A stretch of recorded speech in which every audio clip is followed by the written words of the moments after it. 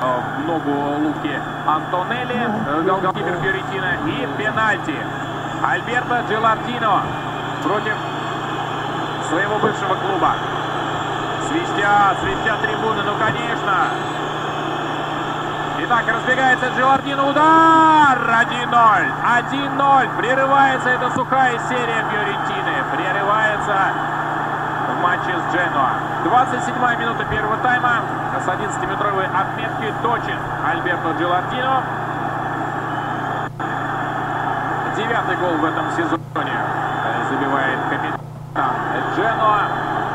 В общей сложности сейчас на счету Альберто Джелардино в серии А 168 мячей. Так, и желтая карточка Квадрадо. А, он еще и следующую игру пропускает. Угадал, можно сказать, угадал направление этого удара. Норберто Нето, но дотянуться до мяча у него не было никакой возможности. Следующий матч